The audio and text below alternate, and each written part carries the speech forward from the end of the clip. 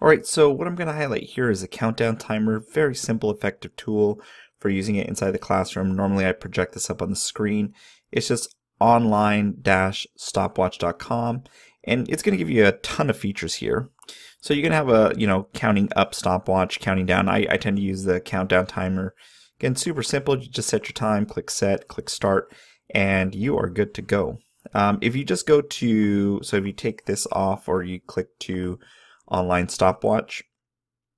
Um, you can see a bunch of other features that it has. You know, so here they have, you know, the large stopwatch. They have a smaller version here.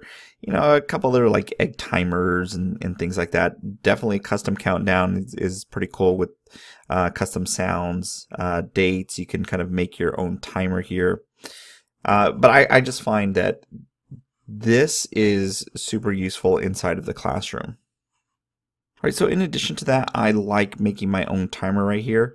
This one allows you to customize a date and a time. So if there's a report, you know, you can add in, you know, a couple little template backgrounds and things like that. The little hourglassing is fine.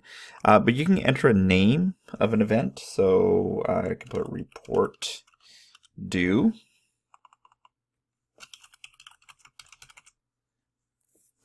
And then I'm just going to give it a date. So, you know, I'm going to say, okay, well, it's due uh, May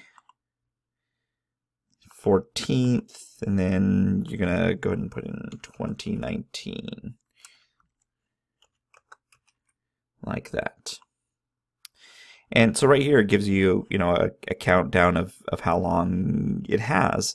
And you can just click get my timer and it's going to create a custom URL for you right here. Um, this you can post or save somewhere, and it's just great to give a visual, like how much, you know, how many days, hours are left on there. So just, just a, you know, kind of a, a cool way to see, you know, what's going to happen in the future and how many days or hours are left until your item is due.